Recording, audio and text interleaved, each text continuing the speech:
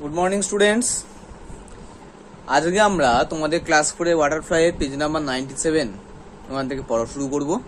Lesson nine চ্যাপ্টারের নাম a profile in kindness profile in kindness kindness মানে দয়ালু বা দয়ার ভাব। প্রোফাইল ইন কাইন্ডনেস প্রোফাইল কথার অর্থ এখানে হচ্ছে একটা ব্যক্তিত্বের কথা বলা হয়েছে। মানে দয়ালু ব্যক্তির কথা এখানে বলা হয়েছে। সে দয়ালু ব্যক্তি কে বা তার কি পরিচয় সেটা আমরা পেজ নাম্বার নাইনটি এইট তার পরের পাড়া থেকে পড়া শুরু করব। শোনো। The night was calm and quiet রাতটা ছিল শান্ত কাম মানে শান্ত অ্যান্ড কোয়াইট মানে নিশ্চুপ, কোনো শব্দ ছিল না। A man was walking alone in the dark একজন মানুষ একাকী অন্ধকারে হাঁটছিলেন। অ্যালন মানে একাকী ডার্ক মানে অন্ধকার। তাহলে একাকী অন্ধকারে হাঁটছিলেন সাডেনলি হঠাৎই he heard some children cry তিনি শুনতে পেলেন যে কিছু বাচ্চা, শিশু, তারা কাঁদছে।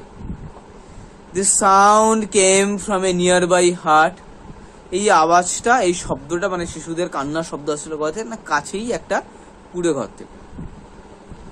দি ম্যান ওয়াজ কিউরিয়াস মানুষটি ছিল আগ্রহী বা অনুসন্ধিৎসু বলা যায়। মানে এই যে কেন এই কান্নার আওয়াজ আসছে, কি কারণ, সেটা জানার জন্য তিনি খুব উৎসুক ছিলেন। He saw a faint light faint মানে আবছা আলো হালকা আলো। তিনি দেখতে পেলেন কি একটা আবছা আলো কামিং ফ্রম দি হার্ট এই কুড়ে ঘর থেকে বেরিয়ে আসছে। He came close to the hut তিনি ওই কুড়ে ঘরের কাছে গেলেন। কেয়ারফুলি তিনি খুব মনোযোগ সহকারে শুনলেন। ভেতরে কি কথাবার্তা হচ্ছে এটা তিনি শুনলেন। চলে আসি পরের পাতা চলে আসো। পেজ নাম্বার নাইনটি এইট থেকে নাইনটি নাইনে যাব নাইনটি নাইন তিনি কি শুনলেন? The man heard a woman talking to the children তিনি শুনতে পেলেন কি? এক মহিলা তার শিশুদের বলছে, বা তার শিশু নয়, শিশুগুলো কি বলছে? ডোন্ট ক্রাই কেঁদো না। The rice will be ready soon তিনি সে বলছে কি বলছে কেঁদো না, ভাত এক্ষুনি রেডি প্রস্তুত হয়ে যাবে। The man looked inside the hut সেই মানুষটি কুড়ে ঘরের ভেতরে তাকালেন লুকিং ইনসাইড দের কুড়ে ভেতরে তাকালেন। হি আস্ক দ্য ওমেন তিনি এই সেই মহিলাকে জিজ্ঞাসা করলেন why are the children crying কেন এই শিশুরা কাঁদছে? দি ওম্যান রিপ্লাইড সেই মহিলা উত্তর দিলেন, প্রত্যুত্তর দিলেন দে আর হাংরি তারা ক্ষুধার্ত। I have nothing to feed them আমার কাছে তাদেরকে খাওয়ানোর মতো কিচ্ছু নেই। The man saw that water was boiling in a pot সে মানুষটি দেখতে পেলেন সেই পাত্রের মধ্যে কেবলমাত্র জল ফুটছে। But there was not a single grain of rice in it তাতে এক দানা চালও নেই। কেবল জলটা ফুটছে। হি ওয়াজ সারপ্রাইজড তিনি হতবাক হয়ে গেলেন। কেন? মানে কি ভীষণ অবস্থা। বাচ্চারা কাঁদছে। তাদের মা তাদেরকে বলছে যে, এই যে ভাত ফুটছে। অথচ সেখানে সেই পাত্রের কেবলমাত্র জল ফুটছে, তাতে এক দানা ভাতও নেই। একটা দানা চাল পর্যন্ত নেই তাতে। এটা দেখে মানুষটা হতবাক হয়ে গেল। হি আস্ক দি ওমেন, তিনি ভদ্রমহিলাকে জিজ্ঞাসা করলেন why then are you boiling water কেন তুমি তাহলে জলটা গরম করছ? কেন জলটা ফোটাচ্ছ? তোমার তো এক দানা চাল পর্যন্ত নেই। My children will believe I am cooking food for them আমার বাচ্চারা বিশ্বাস করবে যে আমি তাদের জন্য খাবার রান্না করছি। কি নিদারুণ পরিস্থিতি। যে ঘরে এক দানা চাল নেই, মা বলছে যে আমি তোমাদের জন্য ভাত রান্না করছি। অথচ কেবলমাত্র জলটা ফুটছে। মা এই বিশ্বাসে রান্না জলটা ফোটাচ্ছেন যে তার বাচ্চারা অন্তত এইটা বিশ্বাস করবে, তাদের খাবারটা তৈরি হচ্ছে। আর এটা দেখলেই then they will stop crying এবং এটা দেখলে তারা কান্নাটা থামিয়ে দেবে। রিপ্লাই দেওয়া মানে। এই এই প্রত্যুত্তরটা সেই মহিলা দিয়েছিলেন। She hoped they would fall asleep and forget their hunger তিনি আশা করেছিলেন।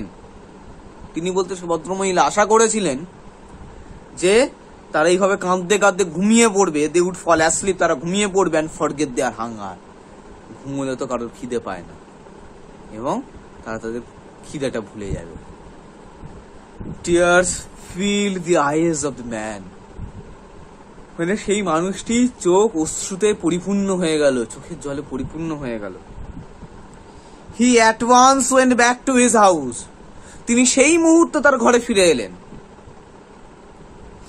Return with food for the hungry children তিনি দরিদ্র, ওই ক্ষুধার্ত শিশুদের জন্য খাবার নিয়ে ফিরে এলেন। He then promised to look after them throughout his life তিনি তারপর প্রতিজ্ঞা করলেন যে to look after them look after মানে কেয়ার করা। তাদের যত্ন নেবেন, তাদের দেখা, দেখভাল করবেন থ্রু আউট হিজ লাইফ তার সারা জীবন ধরে। তিনি এটা প্রতিজ্ঞা করলেন। দিস ইনসিডেন্ট এই ঘটনাটা টুক প্লেস ঘটেছিল কোথায়? ইন হুগলি হুগলি জেলাতে। Over two hundred years ago প্রায় দুশো বছর আগে। This kind man was Haji Mohammad Mohsin এই দয়ালু মানুষটি ছিলেন Haji Mohammad Mohsin. Many poor people were helped by him অনেক দরিদ্র মানুষ তার দ্বারা উপকৃত হয়েছিল, তার সাহায্য প্রাপ্ত হয়েছিল। ইন সেভেন্টিন থার্টি টু উনিশশো বাহাত্তর উনিশশো বত্রিশ সালে Mohsin was born in a respectable family Mohsin জন্মগ্রহণ করেছিলেন একটি সম্মানীয় পরিবার বলব না, এখানে অভিজাত পরিবারে। হিজ ফাদার তার পিতা Haji Faizullah Haji Faizullah was a rich merchant ছিলেন একজন খুব ধনী ব্যবসায়ী মার্চেন্ট মানে ব্যবসায়ী। ইন হিজ চাইল্ডহুড তার শৈশবে, তার বাল্যকালে, মহসিন ওয়াজ টট বাই মৌলবী আগা সিরাজি মহসিন মৌলবী আগা সিরাজির থেকে শিক্ষা গ্রহণ করেছিলেন। He had a great influence on Mohsin. He বলতে এখানে মৌলবী আগা সিরাজির কথা বলা হয়েছে। মানে এই মৌলবী আগা সিরাজির মহসিনের জীবনে একটা খুব বিশাল প্রভাব ছিল। Mohsin had a large property মহসিনের একটা একটু বিশাল বড় সম্পত্তি ছিল। He used his riches riches মানে ধন সম্পত্তি। তিনি তার ধন সম্পত্তিকে ব্যবহার করতেন ফর হেল্পিং দি পুয়ার দরিদ্রদের সাহায্য করার জন্য। He look after the sick and needy and the needy তিনি অসুস্থ এবং অসহায় মানুষদের সহায়তা করতেন, যত্ন নিতেন। Mohsin was well read too Mohsin সুশিক্ষিতও ছিলেন। He had knowledge of Arabic Persian and Sanskrit তিনি আরবি, পার্সি এবং সংস্কৃত ভাষায় পণ্ডিত ছিলেন। তার সেই ভাষায় তিনটে ভাষায় ভাষায় তার দখল ছিল, তার জ্ঞান ছিল। আজ এই পর্যন্ত থাক, তোমরা জিনিসটা পড়ো। এবং শুধু পড়ো নয়, জিনিসটা ভাবো। সেই সময়কার প্রেক্ষাপটটা কথা মনে করো, ভাবার চেষ্টা করো। কিছু গল্পটা বলা হয়েছে এখানে মহসিনকে নিয়ে, সেটার কথা ভাবার চেষ্টা করো। আর অ্যাক্টিভিটিগুলো করবে অ্যাক্টিভিটি ফোর পর্যন্ত আজ এই পর্যন্ত থাক। পরের দিন বাকিটা হবে। Good bye